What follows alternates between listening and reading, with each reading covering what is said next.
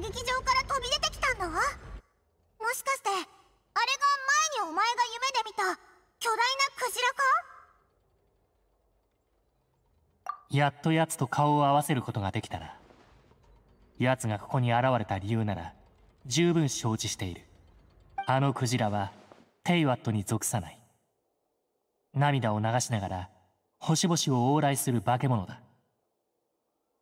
奴はこの星の大会エネルギーを貪り飲み込んでどんどん大きくなっている。これが海面上昇の主な原因だ。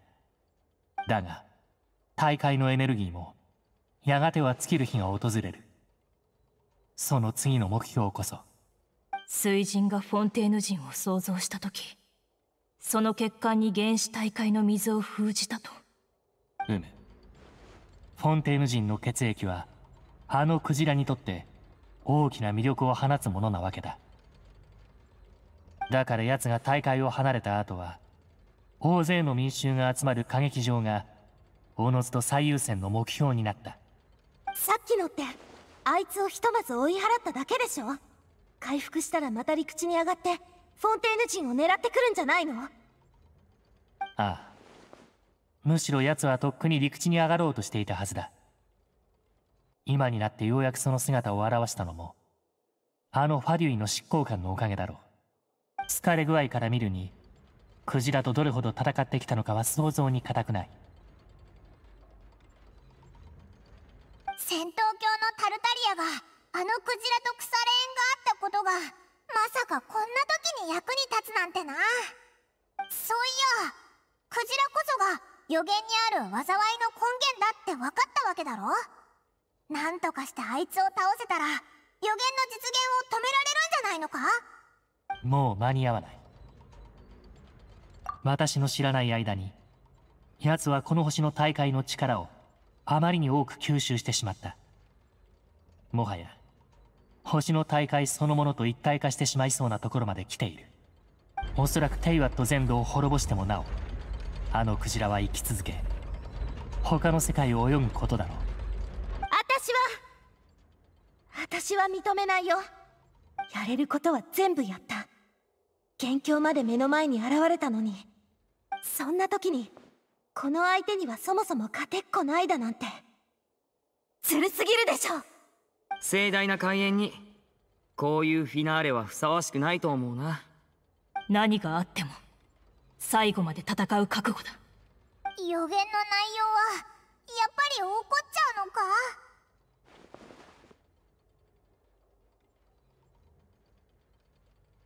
予言は当たるは必ず起こる。あれは未来の歴史と思ってもいいことよ。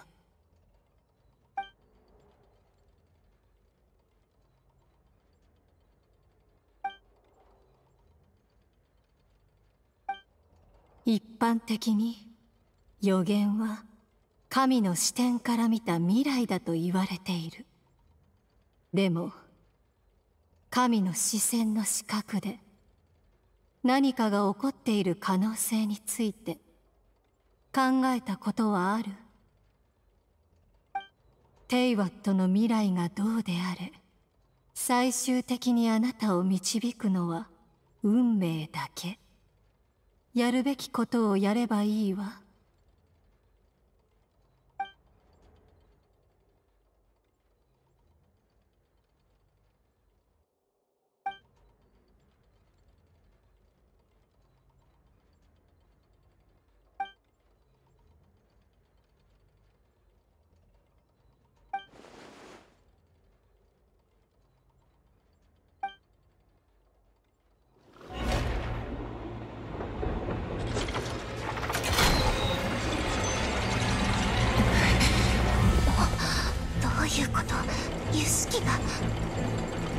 おそらく死刑執行の時間だろう。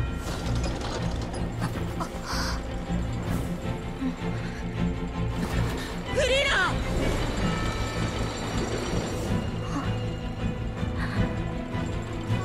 まだ君に聞くことが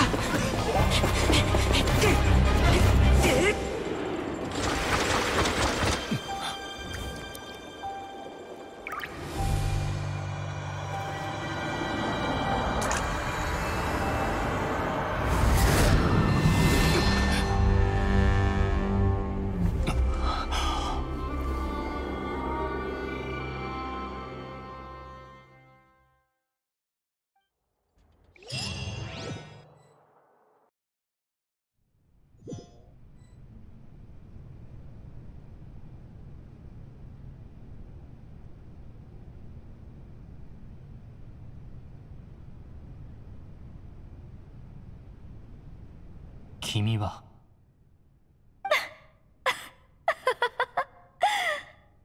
すまない。その驚愕の表情。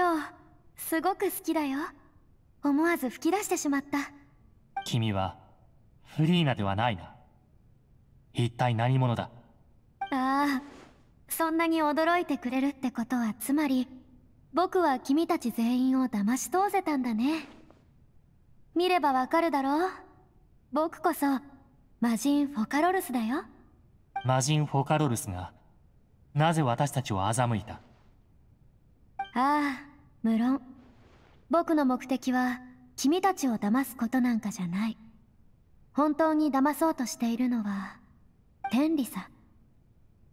天理を欺く。あの予言のことだよ。面倒だろ？う全ての人々は溶けフォンテーヌは水に飲み込まれてしまう。僕の前任水人つまりエゲリアがこの予言を僕に託した時僕も思ったよ。これはさすがに難しすぎないかってね。予言のあのシーンは必ず起こるって。分かってたくせにさ。同時に属性の七失星である彼女にはもう一つ分かりきっていたことがあった。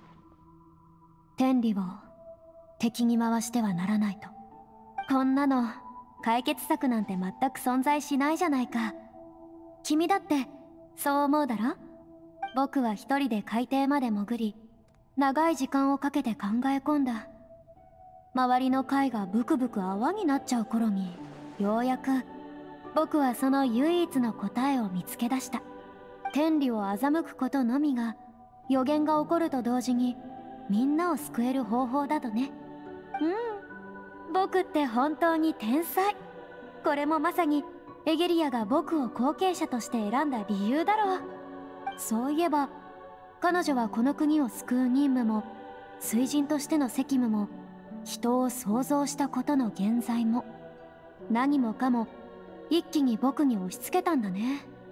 あでもまあしょうがないさ。なんと言ったって僕もかつては彼女の眷属。あまたの純粋精霊の一人だったんだからね。つまり君もかつてエゲリアによって人間にされた純粋精霊の一人だったと。その通り。人間になることはずっと僕の夢だった。今だって何の変わりもないさ。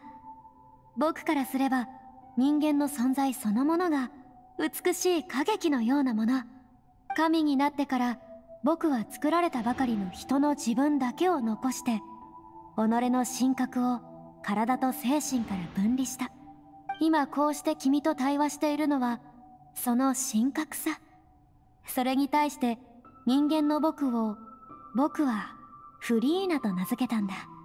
喜怒哀楽の感情を持つ彼女は思い上がりたい時は思い上がって逃げたい時は逃げる。彼女の長所は人間しか持たない長所。その短所も人間ならではの短所だ。僕の目に映るフリーナはまさに完璧な人間だ。なぜなら彼女は本当の人間と全く一緒でそれこそ僕の理想の自分だったからね。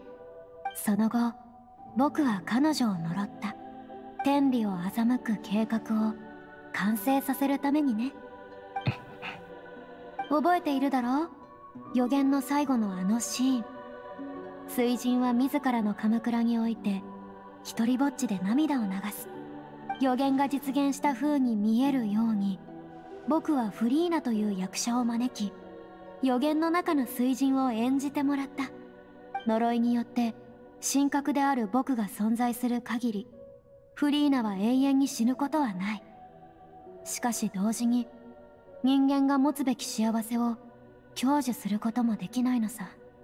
例の予言が実現したと見せかけるため彼女はこの歌劇場を舞台に正真正銘のヒロインとなり永遠に神の役を演じ続けるんだ。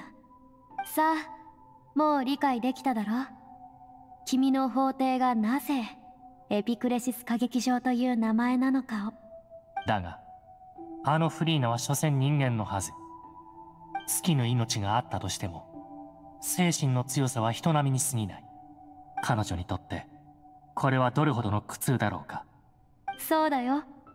フリーナは人間の僕自身とはいえ機会があれば僕はちゃんと僕に謝らないとね。この500年は彼女にとってはこの上なく長くこの上なく孤独でこの上ない苦痛を伴う過激だった。